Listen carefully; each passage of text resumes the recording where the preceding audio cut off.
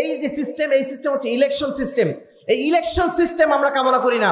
আমরা যেটা চাই সিলেকশন তোমরা নিজেরা ক্ষতিগ্রস্ত হয়েও না। অন্য কেউ ক্ষতি করো না। সারা দেশকে আমরা অচল করে দিচ্ছি। এদেশের বহু মানুষ অসুস্থ অবস্থায় তারা হাসপাতালে যেতে পারছে না। বহু নারী পুরুষ তারা কষ্ট পাচ্ছে। আর আমরা মনে করছি আমরা বোধহয় অনেক বড় দায়িত্ব পালন করে ফেললাম। যখন মজলুম আল্লাহর কাছে দোয়া করে, তখন আল্লাহ রব্লা আলমিন বলেন ইজ্জাতি, আমার ইজ্জাতের কসম করে বলছি আনসুরান্নাকা, আমি অবশ্যই তোমাকে সাহায্য করব। আমি অবশ্যই জালেমদেরকে প্রতিহত করব। আমরা নিজেরা যেখানে সৎ নই, আমরা নিজেরা যেখানে দুর্নীতিবাজ, আমরা যেখানে নিজেরাই আমরা অন্যায় করে বেড়াচ্ছি সেখানে আমাদের শাসকদেরকে আমরা কেমন কামনা করতে পারি? শাসকটাকে ফেরস্তা হবে নাকি? বুঝিয়ে দিই জানিয়ে দিই আপনি এটা জুলুম করছেন। এই কাজ আপনার দ্বারা শোভা পায় না। আপনি প্রশাসনের দায়িত্ব আছেন বলেই আপনি যাকে খুশি তাকে গ্রেফতার করবেন যাকে খুশি তাকে গুম করে ফেলবেন যাকে খুশি থানায় নিয়ে যে মিথ্যা মামলা দেবেন। নিঃসন্দেহে এই কাজ আপনার জন্য অন্যায় হচ্ছে। এই অন্যায় থেকে ফিরে আসুন। আহলেদিস আন্দোলন বাংলাদেশ। আসুন পবিত্র কুরআন ও সহি হাদিসের আলোকে জীবন গড়ি। সালামু আলাইকুম ওরহমতুল্লাহি ওবরাকাত ইন আলহামদুলিল্লাহ ওয়াহদা والصلاه والسلام على من لا نبي بعده اما بعد فاعوذ بالله من الشيطان الرجيم بسم الله الرحمن الرحيم تلك الدار الآخرة نجعلها للذين لا يريدون علوا في الأرض ولا فسادا والعاقبة للمتقين سورة القصص 30 নম্বর আয়াত আহলে হাদিস আন্দোলন বাংলাদেশ সাতক্ষীরা সাংগঠনিক জেলা কর্তৃক আয়োজিত আহলে হাদিস আন্দোলন বাংলাদেশ সাতক্ষীরা জেলা কর্তৃক আয়োজিত আজকের এই সুবৃহৎ ইসলামী সম্মেলনের সম্মানিত সভাপতি, মাননীয় প্রধান অতিথি, আহলে হাদিস আন্দোলন বাংলাদেশ বাংলাদেশ আহলে হাদিস যুব সংঘের কেন্দ্রীয় এবং জেলা দায়িত্বশীল বৃন্দ সামনে উপস্থিত আহলে হাদিস আন্দোলন বাংলাদেশ বাংলাদেশ আহলে হাদিস যুব সংঘ এর বিভিন্ন পর্যায়ে দায়িত্বশীল বৃন্দ সুধী মণ্ডলী এবং সাতক্ষীরার বিভিন্ন প্রান্ত থেকে আগত প্রাণপ্রিয় দিনী ভাইয়েরা এবং পর্দা আলের মা বোনেরা। প্রশংসা আল্লাহ রবুল্লা আলমীর জন্য দুরুদ সালাম বর্ষিত শেষ নবী আহমদ মুস্তফা, মোহাম্মদ মুস্তফা সাল্লাহ আলিয়া ইসলামের প্রতি। সম্মানিত উপস্থিতি, মোহতারাম আমির জামাত উপস্থিত হয়ে আছেন। আমরা আমাদের আলোচনা মানে আগানোর একটু সুযোগ নেই, সংক্ষেপে এটুকুই আজকে আমাকে যে বিষয়ে দেওয়া হয়েছে, বিষয়টি হচ্ছে বর্তমান প্রেক্ষাপটে আমাদের করণীয়। বর্তমান প্রেক্ষাপট বলতে আজকে আমরা সবাই জানি, বাংলাদেশ একটা রাজনৈতিক একটা প্রতিবন্ধকতার মধ্য দিয়ে অগ্রসর হচ্ছে। বর্তমানে বিশেষ করে গত দুই তিন সপ্তাহ যাবৎ বাংলাদেশে রাজনৈতিকভাবে যে একটা স্থবিরতা তৈরি হয়েছে বাংলাদেশে জনমানুষের মধ্যে যে একটা আতঙ্ক তৈরি হয়েছে, সামনে কি হবে, না হবে, এই অবস্থায় আমাদের করণীয় কি হবে? প্রথমত আমরা যেটা বলতে চাইব, আমরা যারা নিজেদেরকে অন্তত মুসলমান মনে করি, যারা নিজেদেরকে সচেতন মনে করি, যারা মনে করি আমাদের দুনিয়াতে আল্লাহ রবুল্লা আলমিন বিশেষ কিছু দায়িত্ব দিয়ে পাঠিয়েছেন, তাদেরকে অবশ্যই কিছু বিষয় এখানে খেয়াল রাখা দরকার। আমরা যেন গড্ডালিকা প্রবাহে গা ভাসিয়ে দিয়ে আমাদের ইহকালীন জীবন, পরকালীন জীবনকে যেন আমরা নষ্ট করে না ফেলি। প্রথম কথা হচ্ছে, আমাদের দায়িত্ব মুসলিম হিসাবে এই সমাজের নিরাপত্তা, এই সমাজের শান্তি, শান্তিকে রক্ষা করা। আল্লাহ রবুল্লা আলম সুরা কাসাসের তিরিশ নম্বর এত বলছেন তিলকাত দারুল আখেরা নিশ্চয়ই এই আখেরাত, আখেরাতকে আমি না নাজ আলুহা লিল্লাদিন আলাইউরিদুন আলুফান ফিল আরদি। তাদের জন্য নির্ধারণ করে রেখেছি যারা এই পৃথিবীতে কোনো প্রকার ঔদ্ধত্য দেখাতে চায় না, দম্ভ করে চলতে চায় না, ওয়ালা ফাসাদা, এবং যারা দুনিয়াতে কোনো প্রকার ফাসাদ সৃষ্টি করতে চায় না, বিশৃঙ্খলা সৃষ্টি করতে চায় না, তাদের জন্যই আমি এই আখেরাতকে রেখেছি। ওয়াল আকিবাতুলিল মুত্তাকিন, নিশ্চয়ই শুভ পরিণাম হচ্ছে কেবলমাত্র তাদেরই, যারা হচ্ছে মুত্তাকি, যারা আল্লাহকে ভয় করে চলে। আল্লাহ রসুল বলছেন, লা তোমরা নিজেরা ক্ষতিগ্রস্ত হয়েও না। অন্য কেউ ক্ষতি করো না। একজন মুসলমান যদি আমরা হই, আমাদের কথা দ্বারা, আমাদের কাজ দ্বারা যেন অন্য কোনো মুসলমান কষ্ট না পায়। আল্লাহ রসুল বলছেন, কুল্লুল মুসলিম, আলাল মুসলিমে হারামুন, দামুহু ওয়া মালু মালুহু আইরদুহু প্রত্যেক মুসলমানের জন্য অপর মুসলমানের রক্ত, তার অর্থ, তার সহায় সম্পত্তি এবং তার সম্মান সবকিছুই হারাম। সম্মানিত উপস্থিতি, আমরা আজকে দেখছি হরতালের নামে হোক, অবরোধের নামে হোক, নানা ধরনের মিছিল মিটিং এর নামে হোক, পারস্পরিক যে দ্বন্দ্ব, মারা- মারামারি আমরা লক্ষ্য করছি, এমনকি আমরা দেখেছি দিন দুপুরে প্রকাশ্যে পুলিশকে পর্যন্ত নিহত করা হয়েছে, পিটিয়ে হত্যা করা হয়েছে। এইভাবে সারা দেশের বুকে যে রাজনৈতিক বিশৃঙ্খলা তৈরি করা হচ্ছে, পারস্পরিক হানাহানি বিবাদের মধ্য দিয়ে যেভাবে মানুষকে খুন করা হচ্ছে, নিঃসন্দেহে একজন মুসলিমের জন্য এটা কোনো নিঃসন্দেহে কোনো মুসলমানের জন্য এটা করণীয় কাজ হতে পারে না।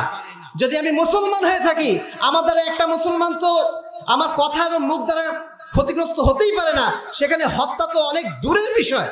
যারা এই ধরনের কাজ করছেন এবং মনে করছেন, আমরা অনেক বড় রাজনৈতিক দায়িত্ব পালন করছি, আমরা আমাদের ধর্মীয় দায়িত্ব পালন করছি, নিঃসন্দেহে তারা নিঃসন্দেহে তারা ক্ষতির মধ্যে যেমন নিজেরা নিমজ্জিত রয়েছেন, পুরো জাতিকে তারা ক্ষতিগ্রস্ত করছেন, এই সমাজের মধ্যে হানাহানি বিদ্বেষ বিশৃঙ্খলা তৈরি করে নিঃসন্দেহে তারা আল্লাহর কাছে দায়ী হয়ে যাচ্ছেন। আমরা তাদেরকে সাবধান করতে চাই। এই ধরনের কোনো উদ্যোগের সাথে আমরা যেন কোনো সচেতন মুসলমান যেন সম্পৃক্ত না হই। যেখানে আল্লাহ রসুল বলছেন, ইমানের সর্বনিম্ন অঙ্গ হচ্ছে রাস্তা থেকে কষ্টদায়ক বস্তু দূর করে দেওয়া। আর আমরা শুধুমাত্র, কি বলব? আমরা তো কষ্টকর বস্তু দূরে দূর করা তো দূরে থাক। সারা দেশকে আমরা অচল করে দিচ্ছি। এদেশের বহু মানুষ অসুস্থ অবস্থায় তারা হাসপাতালে যেতে পারছে না। বহু নারী পুরুষ তারা কষ্ট পাচ্ছে। আর আমরা মনে করছি আমরা বোধহয় অনেক বড় দায়িত্ব পালন করে ফেললাম। সম্মানিত উপস্থিতি, নিঃসন্দেহে এই ধ্বংসাত্মক দায়িত্ব পালনের জন্য আল্লাহ রবুল্লাহ আমাদেরকে প্রেরণ করেনি। আমাদের ইসলাম আমাদেরকে এই হেদায়ত দেয়নি যে আমরা অন্য মুসলমানকে কষ্ট দিয়ে আমরা নিজেদের স্বার্থ উদ্ধার করব। সম্মানিত উপস্থিতি, দ্বিতীয় যে বিষয়টি, সেটি হচ্ছে যারা আমরা শাসন ক্ষমতায় আছি, যারা প্রশাসনের দায়িত্বে রয়েছি, তাদের একটা কথা মনে রাখা দরকার। জুলুম যেন আমাদের দ্বারা না হয়।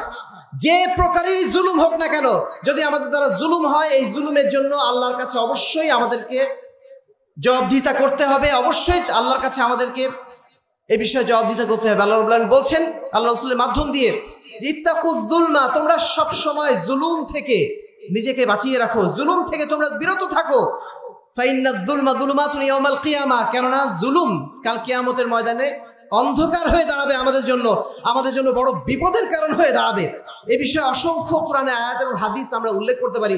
শুধুমাত্র এইটুকুই বলব, একজন মুসলিমের দোয়া আমাদের জন্য যে কত বড় ধ্বংসাত্মক হতে পারে, আল্লাহ রবুল্লা আলমিন হুঁশিয়ারি বানিয়ে দিয়ে বলছেন, যখন মজলুম আল্লাহর কাছে দোয়া করে, তখন আল্লাহ রব আলম বলেন, ইজ্জাতি, আমার ইজ্জাতের কসম করে বলছি আনসুর আনসুরান্নাকা, আমি অবশ্যই তোমাকে সাহায্য করব, আমি অবশ্যই জালেমদেরকে প্রতিহত করব। আমি অবশ্যই জালেমদেরকে প্রতিহত করব ওয়ালাও বা দাহিন যদিও সেটা কিছু পরে হোক না কেন। আল্লাহ রবুল্লা আলমিন জালেমদেরকে কখনো কখনো ছাড় দিয়ে রাখেন। এই জন্য তারা মনে করে, আমরা বোধহয় ছাড় পেয়ে গেলাম। আল্লাহ রবুল্লা আলমিন ছাড়েন বটে কিছু কালের জন্য, কিন্তু ছেড়ে দেন না। এই বিষয়টা আমাদের সবসময় মাথায় রাখতে হবে আল্লাহ রবুল্লা আলমিন। পবিত্র কুমার নিজেই বলছেন ইন্নআল্লাহ লাইম নিশ্চয় আল্লাহ রবুল্লা আলমিন কখনো কখনো যারা জালেম, যারা অত্যাচারী, তাদেরকে কিছুদিনের জন্য একটু ছাড় দিয়ে রাখেন। ফাইদা আখাদাহু লাম ইফলিথু যখন তাকে ধরে ফেলেন, তাকে আর ছাড়েন না। আমরা যেন আল্লাহ রবুল্লা আলমের এই পাকড়াওকে যেন ভয় করি। তিন নম্বর যে বিষয়, সেটি হচ্ছে সর্বদা আমরা যে যে অবস্থানে থাকি না কেন, যে যে দলের সাথে থাকি না কেন, আমাদের অবস্থান যেন সবসময় সত্যের সাথে হয়, আমাদের অবস্থান যেন সবসময় ন্যায়ের সাথে হয়, যেখানে অন্যায় থাকবে সে অন্যায় আমার নিজের মধ্যে থাকুক আর যেখানেই থাকুক না কেন, সে অন্যায়ের বিরুদ্ধে প্রতিবাদ করা এটা আমার জন্য দায়িত্ব। আল্লাহ রসুল বলছেন, মান রামিন কুম্মুল কারান ফালি উগাই রুবিয়াদিহিব তোমাদের মধ্যে যদি কেউ কোনো অন্যায় কাজ করে বা অন্যায় কাজ দেখে ফালি উগাই রুবিয়াদি সে যেন তার হাত দিয়ে সেই অন্যায় কাজটা প্রতিরোধ করার চেষ্টা করে। ফাইল্লাম মিয়াস্তাদি ফাবি লিসানিহি যদি হাত দিয়ে প্রতিরোধ করতে না পারে, তাহলে অন্তত পক্ষে মুখ দিয়ে যেন প্রতিবাদ করে আর যদি মুখ দিয়েও প্রতিবাদ করার সামর্থ্য না থাকে, অন্তত পক্ষে যেন অন্তর দিয়ে ঘৃণা করে। এইটুকু হচ্ছে আমাদের ইমানই দায়িত্ব যে কোনো অন্যায়ের বিরুদ্ধে অবস্থান গ্রহণ করা। এমনকি যদি আমার শত্রুর বিরুদ্ধেও কোনো অন্যায় করা হয়, তবুও তার বিরুদ্ধে আমাকে কথা বলতে হবে, সোচ্চার হতে হবে। আল্লাহ তাকওয়া কোন কওমের প্রতি বিদ্বেষ, ক্ষোভ তোমাদেরকে যেন ন্যায় বিচার করা থেকে বিরত না থাকে, না রাখে, বরং তোমরা সর্বদা ন্যায় বিচার করো। নিশ্চয়ই ন্যায় বিচার করা হচ্ছে তাকুয়ার সবচেয়ে নিকটবর্তী। সম্মানিত উপস্থিতি, তৃতীয় যে চতুর্থ যে বিষয়টি, আমাদের সরকার ব্যবস্থায় যারা রয়েছেন, নিঃসন্দেহে অনেক সময় তারা জুলুম করে ফেলবেন, এটাই স্বাভাবিক। কিন্তু এই জুলুমের বিষয়ে, জুলুমের বিরুদ্ধে আমাদের ভূমিকা কি হবে? আমরা যারা সচেতন মুসলমান, আমরা যারা দিনদার মানুষ তাদের জন্য অবশ্যই কোনো আবেগী সিদ্ধান্ত নিলে হবে না। অবশ্যই বিবেক সম্পন্ন সিদ্ধান্ত নিতে হবে। সরকার ব্যবস্থা যারাই আসবেন, তারা সব সময় ভালো কাজ করবেন এমন নয়। তাদের মাধ্যম দিয়ে অবশ্যই খারাপ কাজ হবে, হতে হবে। যে জামানে আমরা এখন বসবাস করছি, আমরা নিজেরা যেমন, আমাদের শাসকে তেমন হবে, এটাই স্বাভাবিক। আমরা নিজেরা যেখানে সৎ নই, আমরা নিজেরা এখানে যেখানে দুর্নীতিবাজ, আমরা যেখানে নিজেরাই আমরা অন্যায় করে বেড়াচ্ছি, সেখানে আমাদের শাসকদেরকে আমরা কেমন কামনা করতে পারি? শাসকটাকে ফেরস্তা হবে নাকি? তারা তো আমাদের এসেছে। তো শাসকরা যদি কোনো অন্যায় কাজ করে, অবশ্যই সে বিষয়ে আমাদেরকে প্রতিবাদ করতে হবে, নসিহত করতে হবে। আর দিন আর নাসিহা, দিন হচ্ছে নসিহতের নাম। সেই নসিহতটা আল্লাহর জন্য যেমন হবে, রাসুলের জন্য যেমন যেমন হবে ঠিক তেমনই হবে আইমাতিল মুসলিমিন। যারা মুসলিম উম্মার ইমাম হবেন, মুসলিম উম্মার যারা শাসক, তাদের জন্য আমাদের নসিহত থাকবে। যদি তারা অন্যায় করেন, অপরাধ করেন, আমরা তাদের সমালোচনা করব। আমরা তাদের নসিহত করব যেন তারা অন্যায় থেকে ফিরে আসেন। আল্লাহ রসুল বলছেন মনসুর আখা ও মাদলুমান তুমি তোমার ভাইকে সাহায্য করো, যদিও সে জালেম হয় অথবা মাজলুম হয়। আল্লাহ রসুলকে জিজ্ঞাসা করা হলো আল্লাহ রসুল, মাজলুম ব্যক্তিকে সহযোগিতা করা, এটা তো আমি বুঝলাম, এটা আমরা বুঝলাম। কিন্তু একজন জালেম ব্যক্তিকে কীভাবে সাহায্য করা যায়? আল্লাহ রসুল বলেন তাহজুহু আনি জুলমে তুমি তাকে জুলুম থেকে বিরত রাখো। ফাদালিকা নাসরুকা ইয়া। তাহলে এটাই তার জন্য সহযোগিতা হবে। অর্থাৎ সে জুলুম করছে, তাকে বুঝিয়ে দিই, জানিয়ে দিই, আপনি এটা জুলুম করছেন। এই কাজ আপনার দ্বারা শোভা পায় না। আপনি প্রশাসনের দায়িত্ব আছেন বলেই আপনি যাকে খুশি তাকে গ্রেফতার করবেন, যাকে খুশি তাকে গুম করে ফেলবেন, যাকে খুশি থানায় নিয়ে যেয়ে মিথ্যা মামলা দেবেন। নিঃসন্দেহে এই কাজ আপনার জন্য অন্যায় হচ্ছে। এই অন্যায় থেকে ফিরে আসুন। এই কথা বলতে হবে আমাদেরকে এবং এটা হচ্ছে আমাদের নৈতিক দায়িত্বের মধ্যে পড়ে। এটাই হচ্ছে মোনাসাহাত উলাতিল উমুর। এটাই ইসলামের হেদায়ত। আল্লাহ রসুলকে জিজ্ঞাসা করা হচ্ছিল আল্লাহ রসুল, আমাদের শাসকদের মধ্যে অনেকে খারাপ হয়, অনেকে ভালো হয়। আমরা যারা খারাপ, তাদের বিরুদ্ধে কীভাবে সংগ্রাম করব? তাদের বিরুদ্ধে কি আমরা বিদ্রোহ করব না? আল্লাহ রসুল বললেন, লা মা সল্লাহ লা মা সল্লাহ লা মা সল্লাহ যতক্ষণ তারা সালাত আদায় করে, ততক্ষণ পর্যন্ত তাদের বিরুদ্ধে তোমরা বিদ্রোহ করো না। তাদের বিরুদ্ধে তোমরা আনুগত্যের হাত গুটিয়ে নিও না। কারণ ইসলাম সমাজে বিশৃঙ্খলা চায় না। আমি যখনই তার বিরুদ্ধে বিদ্রোহ করব, সরকারের বিরুদ্ধে যেটা এখন হচ্ছে বা এখন যেটা মাঠে ময়দানে নেমে সরকারের বিভিন্ন অঙ্গ প্রতিষ্ঠানের বিরুদ্ধে যেরকম ভূমিকা নেওয়া হচ্ছে, এর মাধ্যম দিয়ে যেটা হয়, সমাজে বিশৃঙ্খলা তৈরি হয়। সমাজে বিশৃঙ্খলা তৈরি হবেই, কারণ আপনি যখন দাঁড়াবেন সরকারের বিরুদ্ধে, সরকার তো চুপচাপ বসে থাকবে না। সরকার আপনার বিরুদ্ধে অবশ্যই ব্যবস্থা নেবে। এইভাবে পরস্পর হানাহানির মধ্য দিয়ে নিঃসন্দেহে এই সমাজ শান্তিপূর্ণ হবে না, বরং আরও অশান্তি বাড়তেই থাকবে বাড়তেই থাকবে। ইসলাম চায় না একজন নিরপরাধ মানুষের রক্ত ঝরুক। এ কারণে ইসলাম এই সমস্ত বিশৃঙ্খল কাজে আমাদেরকে নিষেধ করেছে। পাঁচ নম্বর যে বিষয়টি, সেটি হচ্ছে আজকে যে সময় এসেছে, কিছুদিন পরে নির্বাচন। নিঃসন্দেহে আমরা যারা সচেতন মুসলমান, আমরা যারা ইসলামকে বুঝি জেনে শুনে ইসলাম পালন করার চেষ্টা করি, আমরা যারা আহলুল হাদিস, আমরা কোনো অবস্থাতেই প্রচলিত এই সিস্টেম প্রচলিত ব্যবস্থাপনাকে আমরা কখনোই ইসলামের উপযোগী মনে করি না। আমরা সর্বদা বলি, ইসলামী খেলাফতই হচ্ছে একটা মুসলিম সমাজের সবচেয়ে সুন্দর শাসন ব্যবস্থা এবং সুশাসন আনার জন্য ইসলামী খেলাফতের বিকল্প বলে কিছুই নেই। বর্তমানে যে গণতান্ত্রিক সিস্টেম চলছে, এই এই সিস্টেম একটা ধোকাতন্ত্র ছাড়া আর কিচ্ছু না। এই সিস্টেম এই সিস্টেম সাধারণ মানুষকে ব্যবহার করে মানুষ নিজের ব্যক্তিগত স্বার্থ উদ্ধারের একটা সিস্টেম এই সিস্টেমের মাধ্যম দিয়ে কখনো সুশাসন প্রতিষ্ঠিত হতে পারে না। আমরা সর্বদা সোচ্চার কণ্ঠে এই কথা বলতে চাইব যে অবশ্যই যদি আমরা প্রকৃত ইসলামের অনুসারী হতে চাই, যারা রাষ্ট্রীয় ব্যবস্থাপনায় আছেন, তারা দেশে ইসলামী শাসন ব্যবস্থা নিয়ে আসুন, ইসলামী খেলাফত নিয়ে আসুন। ইসলামী খেলাফতের সবচেয়ে দুটো যে সুন্দর সিস্টেম ইসলামী খেলাফত বলে দিয়েছে, এখানে কোনো নেতৃত্ব, শাসন ক্ষমতা চেয়ে নেওয়া যাবে না।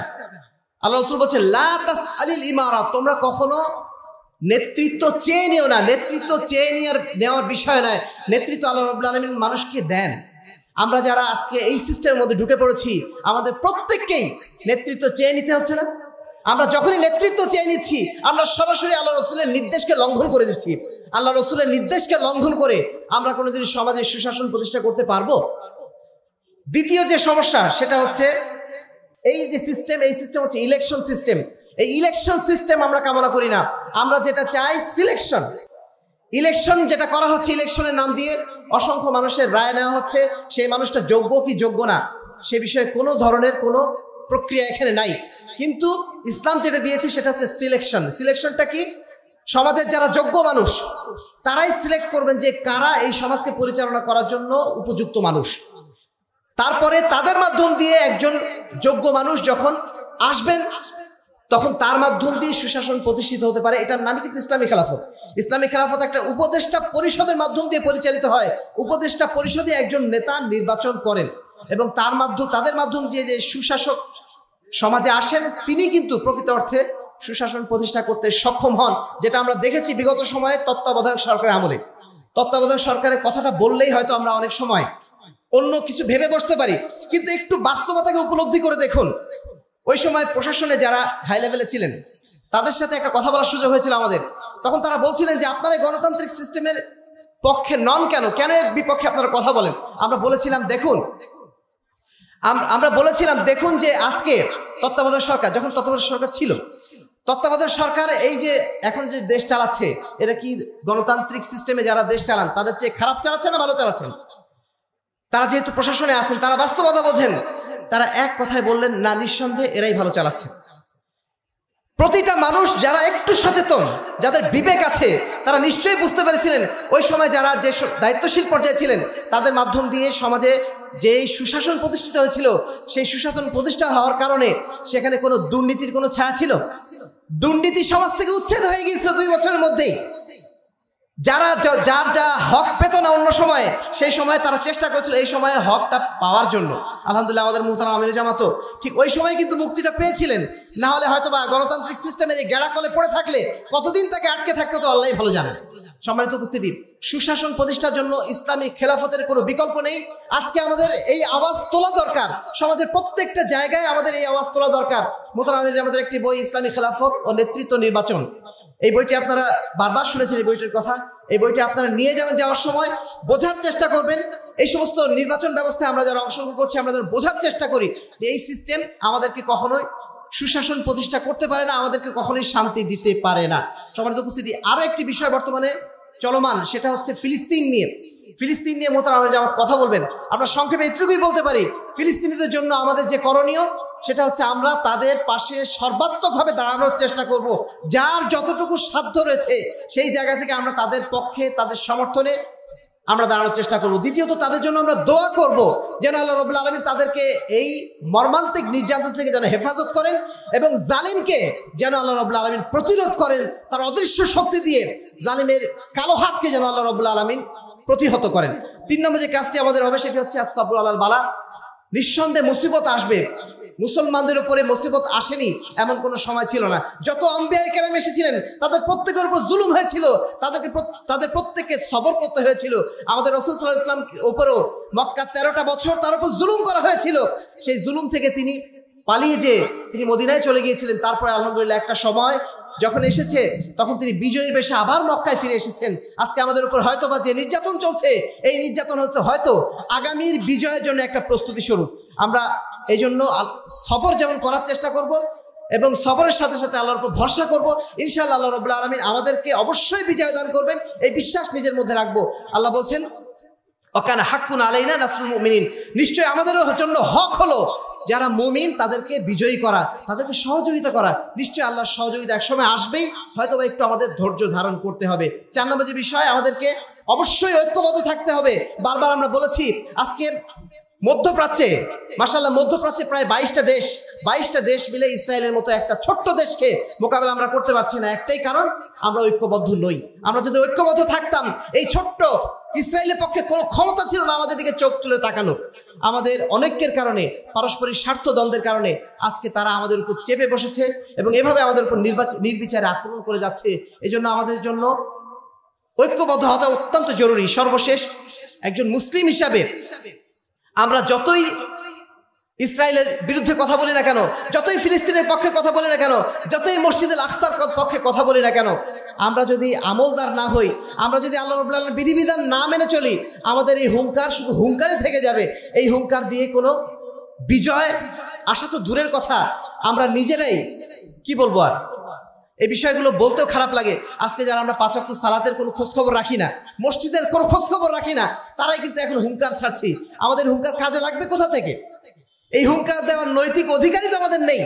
সেজন্য আমরা অনুরোধ করব, যারা মুসলিম উম্মার সদস্য আমরা রয়েছি, আমরা যেন শীত থেকে মুক্ত হই, আমরা যেন বেদাত থেকে মুক্ত হই, আমরা যেন আল্লাহ রবুল্লা আলমের দেওয়া বিধিবিধানগুলো মেনে চলার চেষ্টা করি, আমরা যেন আল্লাহর দেওয়া হালাল হারামের সীমারেখাগুলো মেনে চলার চেষ্টা করি।